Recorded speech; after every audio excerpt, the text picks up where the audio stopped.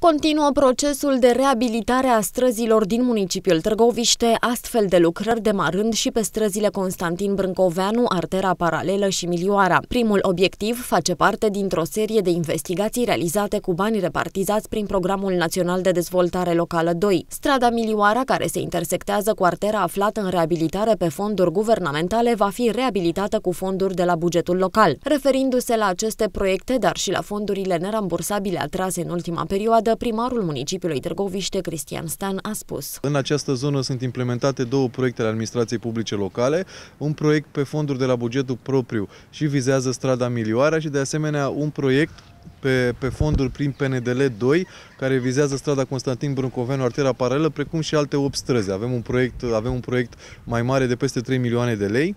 Uh, vreau să uh, precizez faptul că pe PNDL 2, deși abia a fost lansat uh, programul, la acest moment putem spune că deja am încasat 6 miliarde, de 600 de mii de lei noi, urmând ca săptămâna viitoare să mai încasăm încă aproximativ 600 de mii de lei.